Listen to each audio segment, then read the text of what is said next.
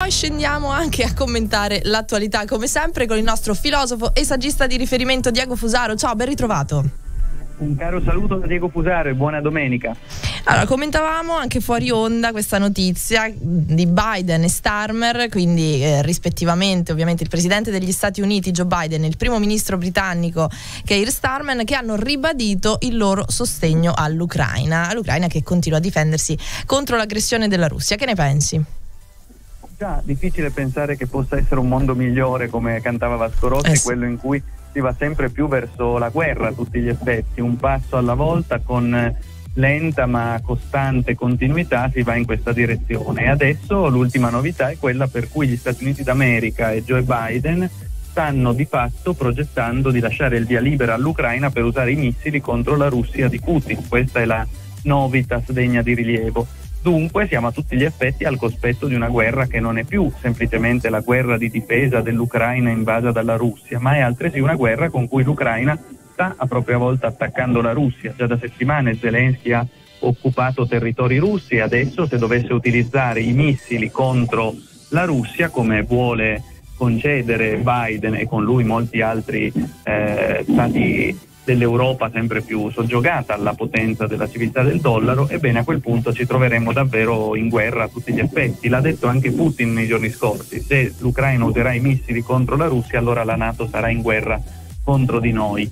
E questo dovrebbe svelarci una volta di più quello che in realtà era evidente da subito, forse non a tutti, e cioè il fatto che questa non è la guerra dell'Ucraina e della Russia e non è nemmeno la guerra della Russia contro l'Ucraina, questa è a voler essere precisi, la guerra della Nato contro la Russia, una guerra preparata fin dagli anni 90 che ora giunge a compimento ed è una guerra cagionata dal fatto che la Russia di Putin rappresenta una resistenza al nuovo ordine mondiale liberal atlantista e proprio per questo Washington aspira a colpire la Russia, a farla capitolare e a normalizzarla sotto ogni profilo. Dunque siamo nel pieno della guerra. Ecco, noi siamo comunque coinvolti indirettamente, lo abbiamo capito, ma secondo te ci sarà eh, insomma, il pericolo di un coinvolgimento diretto dell'Italia, insomma, dell'Europa? A dire il vero l'Italia è stato l'unico o forse uno dei pochissimi paesi europei che eh, ha posto dei limiti. Tajani nei giorni scorsi ha detto che l'Italia non concederà l'autorizzazione a Kiev a usare i missili contro la Russia di Putin.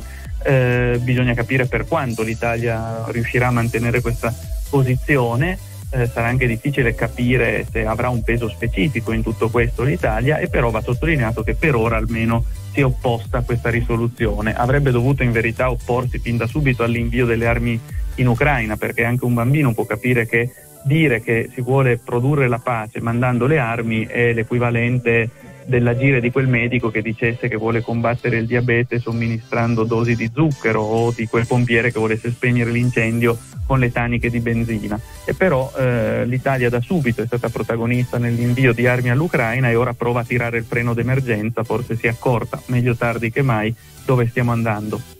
Benissimo, grazie mille a Diego Fusaro. Io vi ricordo che potete anche andare a scoprire live e quindi a incontrarlo live eh, venerdì alle 19, quindi venerdì 20 settembre alle 19 presso il cortile di Picchio News in quel di Macerata, quindi in corso della Repubblica 10, con la presentazione del libro Demofobia.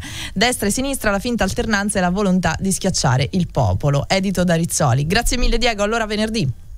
Grazie, ci vediamo venerdì a Macerata. Un caro saluto da Diego Fusaro. A casa, mentre ti prendi cura di te, ascolta Radio Linea numero 1. La radio che ascolti e vedi.